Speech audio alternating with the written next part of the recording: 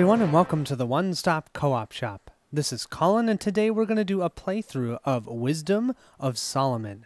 This game is normally a competitive game, but we're going to play the solo variant that comes in the rulebook that I have here. When you play Wisdom of Solomon solo, you will be playing man versus machine made cloth bag. so, this machine made cloth bag will be referred to as Jeroboam. Jeroboam and I are going to battle for favor, and at the end of the game, if we have more favor than Jeroboam, we win the game. So I'm going to show you guys how to set up this game for solo specifically, and then we'll jump into playing. Let's do it. The first thing you'll want to do is grab your player pieces. Here we have the six custom houses. We have our workers, our six workers, and then our favor token tracker. So I'm going to be purple, and Jeroboam will be red you'll place everyone's favor token at 10 favor because you're going to use favor kind of like a currency. You're going to use it to purchase different things and you'll actually decrease your favor and then you may sell things to gain favor. So yeah, it's it's almost like a currency. So you'll start at 10. Here we have all the different types of resource tokens.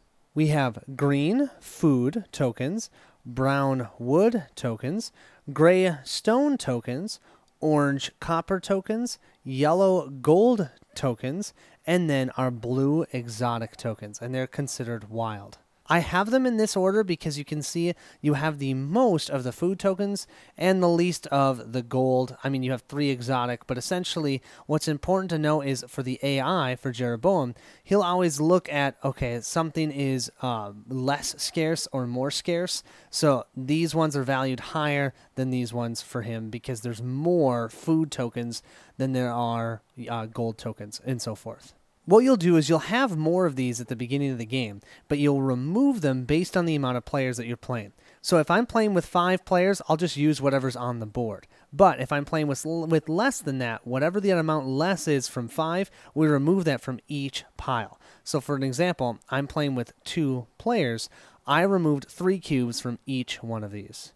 Our next setup step is the shortage tiles. What I'm going to do is I'm going to shuffle these up and place six of them randomly on the board. You can see four here on the board right now. I have one here for Sinai. So normally you would, if you went to Sinai, you'd get to be able to obtain one of the exotic goods.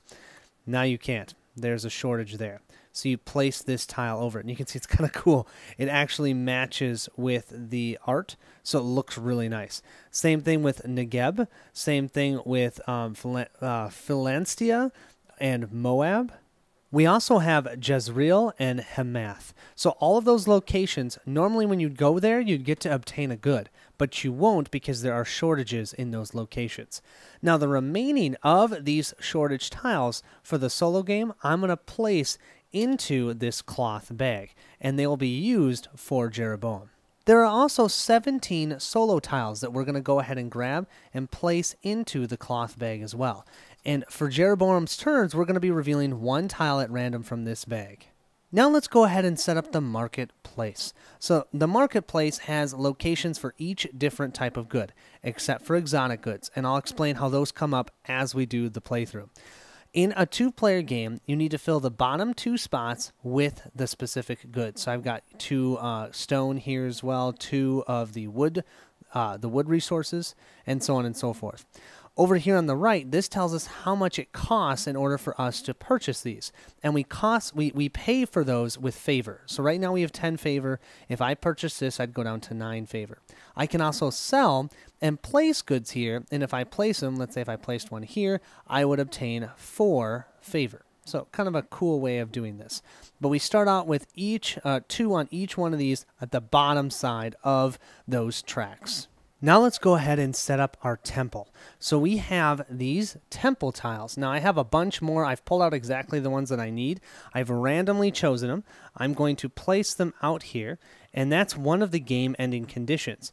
Every time you build a temple, you'll choose one of these tiles face down. You get to look at it, but your opponent doesn't get to see it.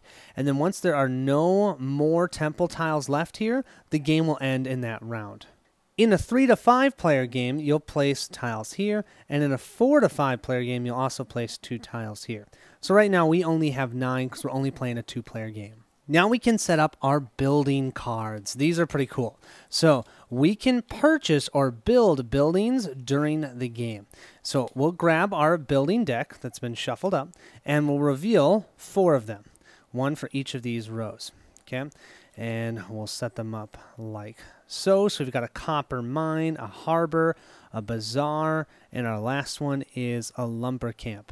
And then we get to take the top one on the deck and flip it face up. We have a granary.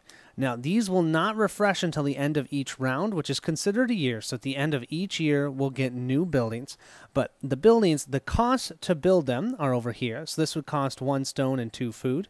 And then we gain fa uh, favor equal to two plus whatever's over here. So we gain three favor. But if we built this copper mine, we'd gain 10 favor. Some buildings will give us an, an, action spot that we can place our worker and do something. Some of them will just give us an inherent ability. So we'll go through those as we play.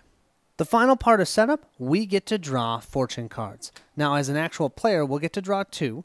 Jeroboam will just grab one, and it doesn't matter what it is. He'll use it just to get favor at the end of the game, or he might trade it in for five favor points. So we'll just keep this by his player pieces. For us, we get to look at these two and pick one and discard the other. We have Grace and Glory and Liberal Soul.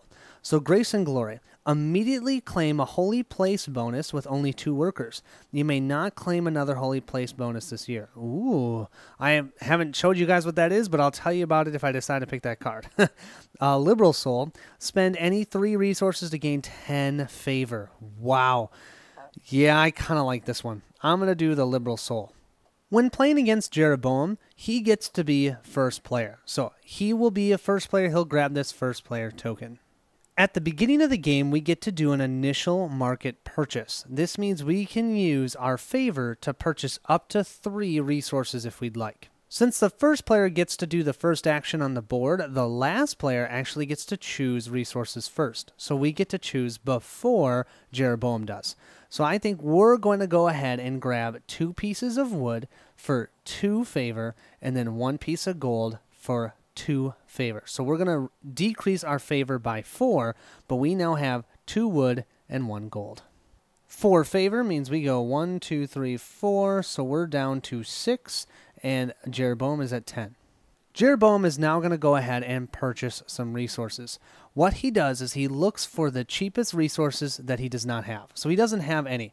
So he's got the cost of clay is one, the cost of food is one, and the cost of stone is one.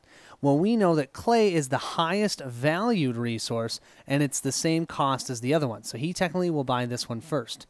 Then he'll purchase the stone second, and then he'll purchase the food third because they all cost one, and the values are first clay, then stone, then food. He'll go down a total of three favor points, so he's actually still ahead of me. Wonderful. I do want to mention one point that I did not explain correctly. You know how I have a building on top of the building deck? You can purchase that. It's just you'll only get the value of favor over here on the right, you won't get any additional bonus from the board itself. And there you have it. That's the setup for Wisdom of Solomon in the solo mode. Hope you guys are excited to help me take on Jeroboam. Let's see if we can do it. I hope to see you all in the playthrough. I'll catch you at the next stop.